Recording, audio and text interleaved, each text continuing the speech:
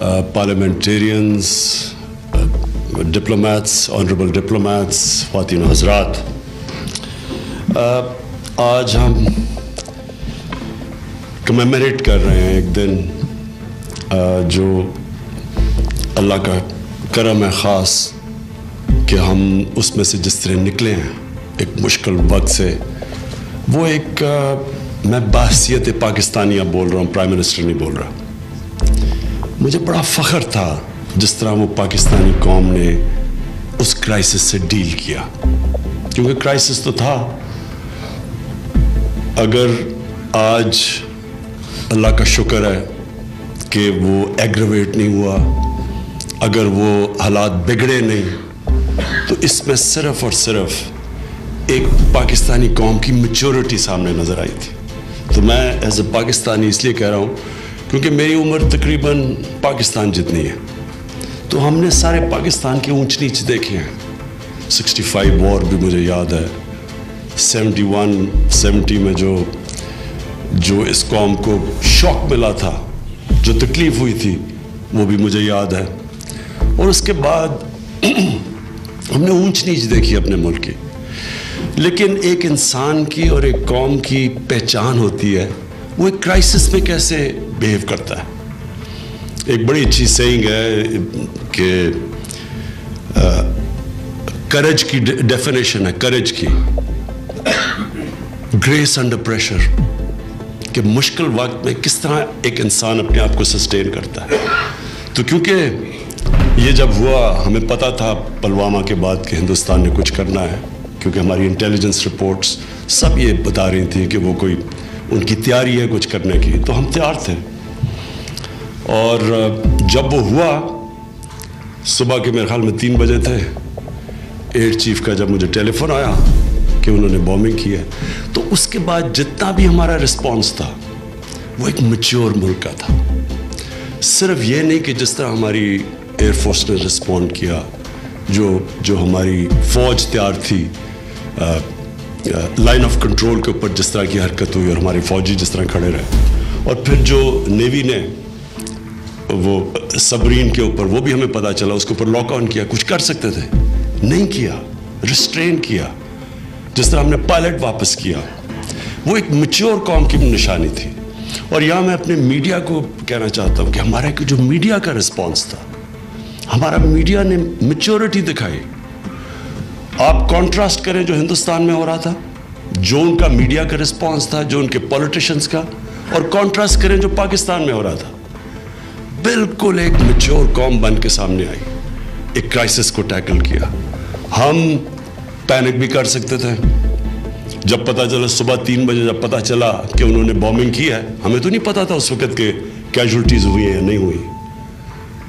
ہم نے پہلے تیاری تھی کہ ہم نے کدھر ان کو ہٹ کرنا ہے۔ تو اسی وقت رسپونڈ کر سکتے تھے۔ لیکن ہم نے انتظار کیا، اگلے دن ریئلائز کیا کہ نہیں کیجولٹیز ہوئی۔ جب کیجولٹیز نہیں ہوئی تو پھر اکارڈنگلی رسپونڈ کیا۔ اور پھر جو پھر سے میں ریپیٹ کرتا ہوں جو پائلٹ سے کیا سے کیا۔ یہ ساری ریفلیکٹ کرتی ہے کہ ایک قوم میچور ہو چکی ہے۔ اور مجھے بڑے فخر ہوا اپنی قوم کے اوپر، جس طرح انہوں نے ڈیل کیا۔ اور میں پھر سے عوام کا کیا ریاکشن تھا؟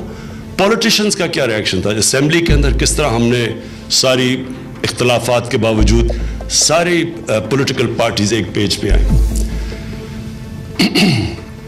اب میں تھوڑا سا ذرا سیناریو جو اس وقت ہے، ہماری جو ہمارے نیبر کا، میں اس کو صرف اپنی پہلے تو اپنے لوگوں کے لیے بریفلی ڈسکرائب کرنا چاہتا ہوں، اور اس کے بعد تھوڑی اینڈ میں میں ڈپلومیٹک کمیونٹی بھی، اور باہر کے لیے، باہر کے ملک کے لیے بھی میں اس کو ڈسکرائب کروں گا۔ دیکھیں، اس وقت جو مسئلہ ہے، ہندوستان ایک بڑی مشکل میں پھنس گیا ہے۔ ہمارا، ہمارے ان سے جس طرح کے بھی تعلقات رہے، اونچ نیچ رہی ہے بیچ میں میں تو ہندوستان کو بڑی اچھی طرح جانتا ہوں۔ کرکٹ کی وجہ سے مجھے شاید ہی کسی پاکستانی کو اس طرح کی پذیرائی ملی ہو رسپیکٹ ملا ہو، جو مجھے ملا ہندوستان میں۔ اور جو ہندوستان میں جانتا ہوں اور جو جانتا تھا، وہ بالکل ایک ایک بڑے خطرناک راستے پہ نکل گیا۔ اور یہ سب سے زیادہ اس کا نقصان ہندوستان کو ہونے والا ہے۔ ہو رہا ہے۔ اور آگے مزید اور ہوگا۔ کیونکہ جس راستے پہ وہ نکل گئے ہیں، اس میں سے واپسی بڑا مشکل ہے۔ جو انہوں نے ایک ریسسٹ، ایک ٹوٹیلیٹیرین، ایک فیشسٹ جو آئیڈیالوجی اڈاپٹ کر لیا ہے آر ایس ایس کی یہ یاد رکھیں کہ جب بھی دنیا کی آپ تاریخ کوئی بھی دنیا کی تاریخ دیکھ لیں، جو بھی قوم اس آئیڈیالوجی پہ گئی ہے، وہاں ہوا ہی خون ہے اس کے بعد۔ یہ اس کی لاجیکل کنکلوژن ہی خون کی طرف ہے۔ کیونکہ جب آپ ایک کسی ایک multi ethnic racial religious community کو، جب آپ یہ کہتے ہیں کہ ایک ریس سب سے سپیریئر اور ایک دین باقی انفیریئر ہے اور پھر آپ نفرت کے اوپر بلڈ کرتے ہیں کہ آپ کی اگر آپ اور اوپر اس لیے نہیں پہنچے کیونکہ اس ہیومن کمیونٹی کا قصور تھا۔ تو آپ نفرت کے اوپر جب یہ بلڈ کرتے ہیں، آپ کہیں بھی دنیا میں اٹھا کے دیکھ لیں۔ خون اینڈ میں جا کے۔ نازی جرمنی، جس سے انہوں نے انسپائر ہو کے آر ایس ایس نے یہ ساری اپنی آئیڈیالوجی بنائی۔ نازی جرمنی میں دیکھ لیں کیا ہوا۔ اس کے علاوہ روانڈا میں دیکھ لیں۔ ساؤتھ افریقہ میں جدھر ایک ریس اوپر، آ گئی اور باقیوں کو انہوں نے کیا کیا ان باقیوں سے میانمار میں دیکھ لیں۔ ادھر ایگزیکٹلی یہی ہوا کہ وہ بھی بدھسٹ ایک ریس اوپر آئی اور دوسری مسلمانوں سے انہوں نے کیا کیا۔ بوسنیا میں کیا ہوا کہ جب سرب، سربین نیشنل، نیشنلزم اوپر گئی، انہوں نے جو قتل عام کی وہاں، یہ لاجکلی یہ اس طرف ایک ہی طرف جا رہی ہے۔ ایک انہوں نے ہندوتا، ایک فلسفی جو وہ اوپر لے آئے ہیں اور وہ نفرتیں پھیلا رہے ہیں مسلمانوں کے اوپر اور اس کے بعد کرسچنس کے اوپر۔ اور پھر یہ باقی بھی ساری ان کی جتنی بھی مائنورٹیز ہیں، آخر میں اس کی طرف بھی جائے گی۔ اس کا نتیجہ اس لیے خوفناک ہے کیونکہ پیچھے ہٹنا یہاں سے بڑا مشکل ہے۔ اگر یہ یہاں سے پیچھے ہٹتے ہیں، یہ جو ان کی لیڈرشپ جدھر پہنچ گئی ہے، اگر یہاں سے پیچھے ہٹتی ہے، ان کو جو ایک قسم کی یہ یہ جو نیشنلزم اور ریسزم یہ جو انہوں نے اٹھا دی ہے، یہ ان کو پیچھے نہیں ہٹنے دے گی۔ آپ مارکسزم کا دیکھ لیں، جب کوئی مارکسسٹ آتے تھے تو ان کو کون جاتا تھا؟ جو الٹرا مارکسسٹ ہیں وہ ان کے پیچھے پڑ جاتے تھے۔ اس لیے یہ بڑا مشکل ہے۔ اب یہاں سے جو کشمیر میں انہوں نے کر دیا ہے اسی لاکھ کشمیروں کشمیریوں کو اوپن جیل میں جو کیا ہے۔ اور جو یہ ہندوستان میں دو انہوں نے لیجسلیشن لا کے بیسکلی بیس کروڑ مسلمانوں کو ٹارگٹ کیا ہے۔ اس سے پیچھے ہٹنا بڑا مشکل ہے۔ اور آگے جاتے ہیں تو یہ یاد رکھیں کہ ایک فیس کر رہے ہیں اس وقت۔ کم از کم پچاس ساٹھ کروڑ لوگوں کو، کیونکہ مسلمان بیس کروڑ ہیں، اس کے علاوہ بھی کرسچنز ہیں، سکھ ہیں۔ دالت ہیں ٹرائبلز ہیں، یہ جتنے بھی یہ جو اب آپ جب جب ہندوتا لے آئیں تو ان ساروں کو مارجنلائز کریں گے۔ اور جب آپ مارجنلائز اتنی بڑی اتنی بڑی مائنورٹی کو مارجنلائز کرتے ہیں، اس کی دنیا کی تاریخ میں یہ نہیں ہوا۔ اس طرح کے نمبرز جو میں آپ کے سامنے دے رہا ہوں، یہ دنیا میں کہیں ایسے نہیں ہوا۔ آپ تھوڑے سے لوگوں کو تو مارجنلائز ہو تو ہوتے ہیں۔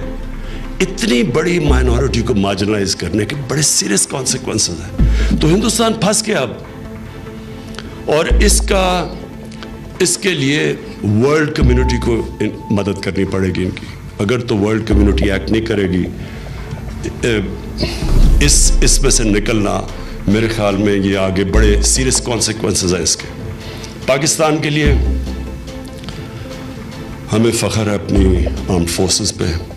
ہمیں فخر اپنی نیوی پہ، اپنی ایئر فورس پہ کہ اور اعتماد ہے، جس طرح انہوں نے ریئیکٹ کیا کانفیڈنس سے، پورا کانفیڈنس تھا، مجھے بڑی خوشی ہوئی۔ جنرل باجوہ بالکل گھبرائے نہیں ہوئے تھے۔ ایئر چیف بالکل نہیں گھبرائے ہوئے تھے، جب کہہ رہے تھے کہ بڑی کیلکولیٹڈ ساری باتیں ہوئی ہماری۔ مجھے گھبرانا چاہیے تھا، لیکن کانفیڈنس تھا، مجھے لگ رہا تھا، کیونکہ ان کو دیکھ کے مجھے بھی کانفیڈنس تھا کہ کچھ نہیں ہوگا۔ اور جس طرح جس طرح ریئیکٹ کیا، دنیا نے اکنالج کیا۔ ہمارے اندر، پاکستان میں میں آپ کو یہ یقین دلاتا ہوں کہ جو اس کے، یہ جو پلوامہ کے بعد اور پھر بالا کوٹ کے بعد جو پاکستان کا ریئیکشن تھا اور جو آج دنیا کے اندر پاکستان کی پوزیشن ہے۔ دیکھیں، ہندوستان میں جا کے کبھی سوچ سکتے تھے کہ باہر سے ایک امریکن پریزیڈنٹ جائے اور جو ان کی تعلقات ہیں ہندوستان سے جس طرح انہوں نے پاکستان کے الفاظ استعمال کیے ہمارے لیے، وہاں میں دیکھ رہا تھا کہ ان کا جو ایکسٹریم میڈیا ہے، اس میں کتنی تنقید کی انہوں نے ڈونلڈ ٹرمپ کی کہ کیوں کیا، کیوں پاکستان کی تعریف کر دی؟ لیکن یہ ریفلیکٹ کرتا ہے۔ یہ پاکستان کی سٹینڈنگ اب ریفلیکٹ کرتا ہے۔ اور انشاءاللہ یہ ملک اوپر ہی جاتا رہے گا۔ اور جو ہمارے ڈومیسٹک ایشوز ہیں، جو انشاءاللہ وہ بھی آپ دیکھیں گے، جو سارا مشکل وقت ہے، وہ نکل گیا اس وقت پاکستان جس طرح وہ شاہ محمود نے کوٹ کیا یونائٹڈ نیشنز کے سیکٹری جنرل کو کہ Pakistan from terrorism to tourism اور ٹیررزم کا میں صرف ایک بات کہنا چاہتا ہوں کہ اس لیے، شاید اس لیے اتنا زیادہ کانفیڈنس تھا ہماری uh, uh, سروسز چیفز کے اندر. کیونکہ انہوں نے بڑا مشکل، یہ جو جو ٹیررزم کے اگینسٹ جو uh, جو جنگ لڑی گئی ہے، یہ بہت ہی مشکل جنگ تھی. وہ جنگ زیادہ آسان ہوتی ہے جو آمنے سامنے دشمن کے بیچ میں ہو۔ یہ جو جنگ ہوتی ہے، یہ تو بڑی مشکل جنگ ہوتی ہے۔ جو آپ نے دیکھ لیا کہ دنیا کی اتنی بڑی سپر پاور بھی ہمارے ساتھ والے افغانستان میں، آپ نے دیکھا کہ کتنا ان کے لیے مشکل رہا نہیں جیت سکے۔ لیکن جو پاکستان کی جو سروسز کی جو پرفارمنس تھی، اس سے اس لیے ان کے اندر بڑا اعتماد تھا اور کانفیڈنس تھا۔ میں آخر میں پھر سے آج ٹریبیوٹ پے کرنا چاہتا ہوں اپنی آرم فورسز کو۔ جس طرح جس طرح ہم نے ہینڈل کیا سارا، میں اپنی قوم کو ٹریبیوٹ پے کرنا چاہتا ہوں۔ اپنی پولیٹیکل جو ہماری لیڈرشپ ہے نیشنل اسمبلی میں، جس طرح انہوں نے اپنے میڈیا کو، کہ ہمارے میڈیا نے وہ حرکتیں نہیں کی۔ ہندوستان کا میڈیا اگر آپ دیکھیں تو اتنی امیچورٹی اور اس طرح کی چیزیں وہاں جو کہی جاتی ہیں یعنی کوئی کوئی بھی دنیا کا رسپانسبل میڈیا اس طرح کی حرکتیں نہیں کرتا کہ یعنی وہ پوری کوشش کرتے ہیں ایگ آن کرتے ہیں کہ اب جنگ ہو جائے، مارو پاکستان کو، یہ کرو۔ ساری الیکشن کیمپین ہی لڑی گئی اینٹی پاکستان پاکستان کو برا بھلا۔ وہ جو ہم نے پائلٹ واپس کیا، انہوں نے ساری کیمپین ہی یہ چلائی کہ جی اتنا ہمارے سے خوف زدہ تھے کہ انہوں نے پائلٹ واپس کر دیا۔ یعنی وہ بجائے یہ کہنے کے کہ ایک قوم، ایک میچور قوم یہ ریئلائز کرتی ہے کہ ملٹری سلوشنز ہوتی نہیں ہیں۔ یہ تو صرف ملٹری اپنی قوم کو ڈیفینڈ کرتی ہے جو ہماری ملٹری نے کیا۔ لیکن آپ کوئی بھی ملٹری سے مسئلے حل کرنے جاتے ہیں، دنیا کی تاریخ یہ بتاتی ہے کہ آپ ملٹری سے ایک مسئلہ حل کرتے ہیں، پانچ اور مسئلے کھل جاتے ہیں۔ آپ القاعدہ کے پیچھے عراق میں جاتے ہیں اور آئسس کریٹ کر دیتے ہیں۔ کہیں بھی جس طرح افغانستان میں ہو کہیں بھی دنیا میں، یہ جو ملٹری سلوشنز یہ تو بالکل ایک لاسٹ ریزورٹ ہوتی ہے۔ لیکن انہوں نے یہ ہندوتا کی فلسفی ادھر تک پہنچا دی ہے کہ ان کو یہ اپنی قوم کو بتا دیا ہے کہ آپ سے بڑی کوئی قوم ہے ہی نہیں، آپ سے کوئی سپیریئر لوگ ہے ہی نہیں۔ انہوں نے مسلمانوں کی تاریخ ہی ختم کر دی کہ تاج محل بھی سنا کسی، پتہ نہیں، ہندو نے بنایا تھا۔ وہ سارا انہوں نے تاریخ ہی چینج کر رہے ہیں۔ ان کی آپ فلمیں دیکھیں آگے وہ میں نے غلطی سے ایک فلم دیکھ لی۔ میں نے سمجھا پانی پت کے اوپر فلم تھی جو احمد شاہ عبدالی کی وہ بڑی فیمس جنگ تھی۔ وہ فلم دیکھی، وہ کوئی اس فلم کے اندر صرف اور صرف ہندوف تھا کہ وہ اتنے بڑے ویلنس دکھا دیے مسلمانوں کو کہ مجھے فلم بند کرنی پڑی آخر میں۔ کہ وہ لگا کہ وہ اصل میں مسل، وہ احمد شاہ عبدالی جیتا نہیں تھا، وہ جنگ ہار گیا تھا۔ یہ جو ڈسٹورشن ہو رہی ہے ہٹلر ہسٹری کی، یہ قائد اعظم نے کہا تھا اپنے انہوں نے ان کی آپ ایڈریس پڑھے انہوں نے کہا تھا ہماری ہسٹری فرق ہے۔ انہوں نے یہ ساری چیزیں جو قائد اعظم نے میں تو آج اس دن خاص داد دینا چاہتا ہوں اپنے گریٹ لیڈر قائد اعظم کو کہ انہوں نے یہ ساری چیزیں پرڈکٹ کی تھیں۔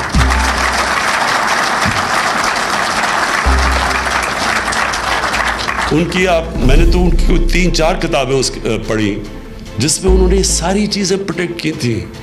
انہوں نے جب ہندو مسلم یونٹی کے وہ امبیسڈر کہلائے جاتے تھے، وہ یہ چیزیں دیکھ کے وہ پیچھے ہٹنا شروع ہوئے۔ اور پھر اینڈ میں وہ کہتے گئے مسلمانوں کو کہ تمہیں نہیں پتا کیا ہونے والا ہے۔ تم انگریز کی غلامی سے نکل کے ہندو کی غلامی میں جانے والے ہو۔ یہ ساری چیزیں انہوں نے کہی تھی جو آج نریندر موڈی کے ہندوستان میں ہو رہا ہے۔ میں آپ سب کا شکر گزار ہوں۔ میں اپنی قوم کو آج خاص طور پہ اس دن کہنا چاہتا ہوں کہ انشاءاللہ جو ہمارا ملک میں جو جس ڈائریکشن پہ ہم جا رہے ہیں، انشاءاللہ آپ دیکھیں گے کہ یہ وہ عظیم ملک بننے جا رہا ہے جو ہمارے گریٹ لیڈر قائد اعظم کی خواب تھی۔ شکریہ۔